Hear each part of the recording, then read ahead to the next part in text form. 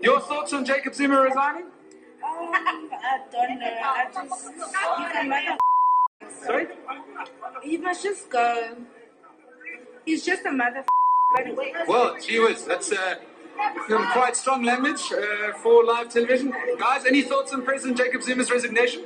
Kim. All right. Well, well, um, we'll have to leave it at that for the moment, uh, Kathy. People very, very spirited on the streets of Braamfontein. We'll try and see whether or not we can uh, hear from people elsewhere than uh, the, the city of Braamfontein. But I can at least confidently say that people are very, very passionate about their thoughts on President Jacob Zuma's resigning.